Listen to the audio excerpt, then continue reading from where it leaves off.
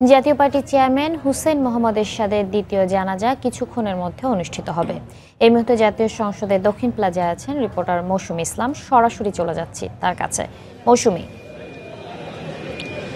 সাতিলা হোসেন মোহাম্মদ এরশাদের দ্বিতীয় নামাজে জানাজা সংসদ ভবনের দক্ষিণ প্লাজায় হওয়ার কথা ছিল কিন্তু দেখা যাচ্ছে মেঘলা আকাশের কারণে কিছুক্ষণের মধ্যেই মনে হচ্ছে বৃষ্টি নামবে। এর জন্য তার নামাজে জানাজা দক্ষিণ প্লাজায় না হয়ে সংসদ ভবনের সংসদ ভবনের টানেলে হবে এবং সেই প্রস্তুতি কিন্তু নেওয়া হয়েছে এবং এখানে দেখতে পাচ্ছেন সাতিলা এখানে জানাজাকে ঘিরে কিন্তু এখানে যে নিরাপত্তা ব্যবস্থা জোরদার করা হয়েছে। এখানে আহ, রাষ্ট্রপতি মোহাম্মদ আব্দুল হামিদ, তিনি এই জানাজায় অংশ নেওয়ার কথা রয়েছে। সেই জন্য কিন্তু এখানে নিরাপত্তা ব্যবস্থা জোরদার করা হয়েছে এবং আমরা সকাল থেকে আছি এখানে। এখান থেকে কিন্তু সকাল থেকে আমরা দেখতে পাচ্ছি যে সকল শ্রেণি পেশার মানুষ, সাধারণ মানুষ এখানে কিন্তু এই জানাজায় হুসেন মোহাম্মদ এরশাদের দ্বিতীয় জানাজায় অংশ নেওয়ার জন্য কিন্তু তারা একে একে আসছেন এবং দেখতে পাচ্ছেন এখানে কিন্তু মানুষের প্রচণ্ড ভিড় যেহেতু রাষ্ট্রপতি মোহাম্মদ আব্দুল হামিদ আসবেন সেখানে একটি নিরাপত্তার বিষয় আছে সেই জন্য সবাইকেই কিন্তু নিরাপত্তা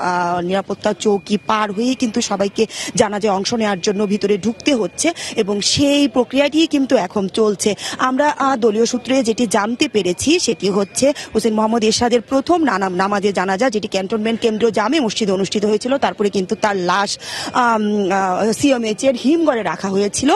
এরপরে আহ, এ- এ- এবং দ্বিতীয় নামাজে জানাজার জন্য আমরা দলীয় সূত্রে যেটি জানতে পেরেছি, তার মরদেহ কিন্তু ইতিমধ্যেই ক্যান্টনমেন্ট থেকে রওনা হয়েছে বলে আমাদেরকে দলের পক্ষ থেকে জানানো হয়েছে এবং এই নামাজের জানাজা যেটি সংসদ ভবনের এই টানেলে অনুষ্ঠিত হবে সেটি সকাল সাড়ে দশটায় অনুষ্ঠিত হওয়ার কথা রয়েছে। এরই মধ্যে কিন্তু একে একে যারা জানাজায় অংশ নেবেন তারা কিন্তু আসছেন এবং এখানে একটি কিন্তু মানুষজনের একটা উপচে পড়া ভিড় বলা চলে, কিন্তু নিরাপত্তা চৌকি পার হয়ে সবাইকে ভিতরে ঢুকতে হচ্ছে, যেহেতু এখানে কিন্তু একটা মানুষজনের একটা ভিড় বা জটলা বলা চলে এবং যেটি বলছে দলের পক্ষ থেকে যে এর পরপরই কিন্তু তাকে এই দক্ষিণ সংসদ ভবনে দ্বিতীয় নামাজে জানাজার শেষে তাকে কিন্তু কাকরাইলে কেন্দ্রীয় তাদের যে পার্টি অফিস সেখানে নিয়ে যাওয়া হবে দলীয় নেতাকর্মী এবং সর্বস্তরের মানুষের শ্রদ্ধা নিবেদনের জন্য।